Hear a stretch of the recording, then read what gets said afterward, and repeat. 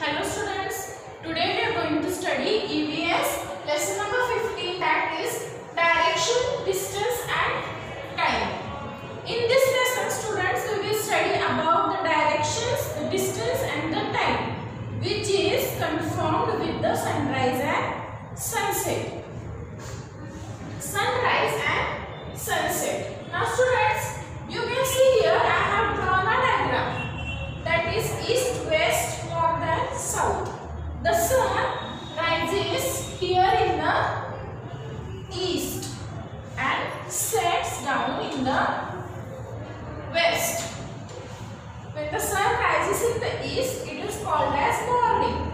And the set, when the sun sets down here in the west, west is called as evening. The night starts from the evening when the sun sets in the west and the day starts from the morning when the sun rises in the east.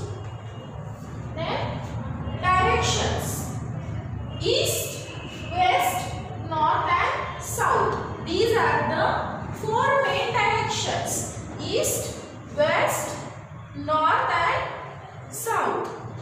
The direction is known where the sun rises. When you are facing to the sun, if here is a sun and I am facing to the sun, then I am facing the east direction and the west is at my back.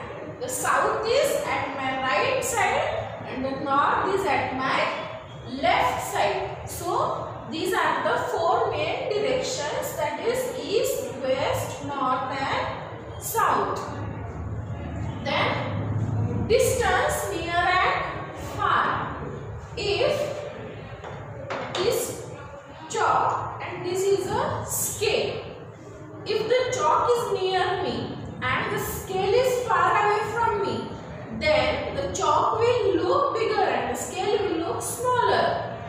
Or if the scale is near me and the chalk is far away from me, the scale will look bigger and the chalk will look smaller. In the same way, as sun is far away from us, we can see the sun in very smaller size, but actually the sun is in very big size. So, if the object, if the object is near us, the object we can see is bigger. And if the object is far away from us, it is seen smaller. As the object is near, is seen bigger and if the object is far, it is seen smaller. The next one is time. As I said, the time is decided according to the sunset and sunrise.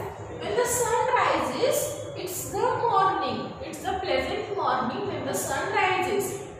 In the afternoon, the sun becomes very hot and means the sun rays comes on our head. The hot rays comes on our head. And in the evening, the sun starts setting down. In the evening, the sun starts setting down.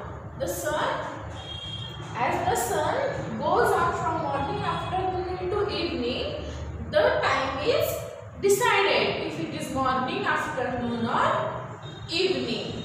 So students, I hope you have understood the lesson. Complete the assignment of this lesson. Thank you.